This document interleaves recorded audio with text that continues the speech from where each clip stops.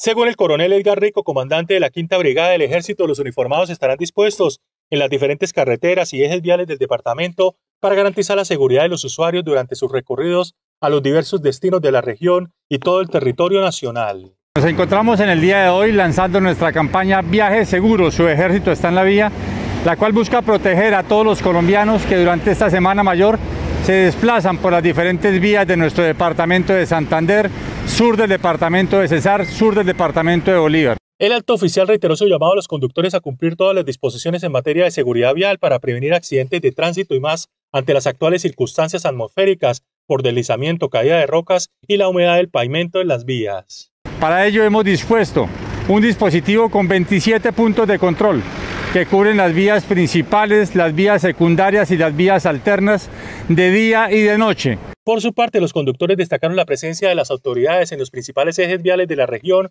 para garantizar un viaje tranquilo y seguro por carretera. Bueno, porque le da seguridad y tranquilidad al personal que viaja.